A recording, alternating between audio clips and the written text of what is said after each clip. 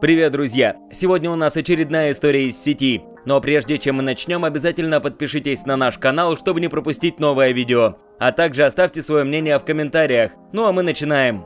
Разные же бывают люди. У каждого свои проблемы, мысли, интересы, ценности. Каждый живет по определенным принципам, ставя для себя определенные рамки. У кого-то они слишком широкие, а у кого-то совершенно отсутствуют. Вот пришлось мне в жизни столкнуться с довольно комичной ситуацией, когда человек продемонстрировал всю суть своей сущности в тот самый момент, когда я уже был готов пойти на крайние меры. Я тогда еще только встречался со своей будущей женой. О семье и свадьбе пока не могло быть и речи. Мы на тот момент лишь начинали наши отношения, и нам было довольно сложно. Родители у Аньки были достаточно строгими, так что домой она должна была идти не одна и всегда до 10 вечера тот день родителей у нее дома не было, и мы просидели под ее окнами несколько часов до глубокой ночи. Потом я провел и пошел на остановку. Жил я на другой стороне города, а туда почти никакой транспорт не ездил. Но мне повезло, ведь именно от Ани ехала одна единственная маршрутка, почти прямо к моему дому.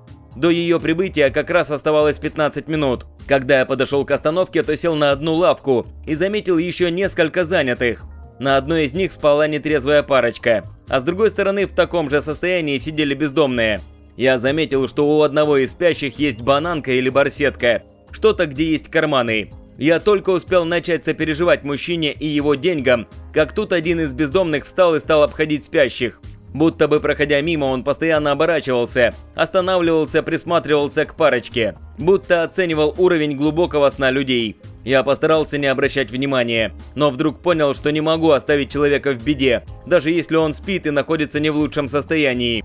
Я уже хотел вставать и отгонять бездомного, но тут случилось то, что повергло меня в шок. Мужик тихо подкрался к спящей парочке, вытянул руку вперед, зажмурил глаза и будто бы фокусник с десятилетним стажем легким движением руки вытащил наполовину полную бутылку с сомнительной жидкостью внутри.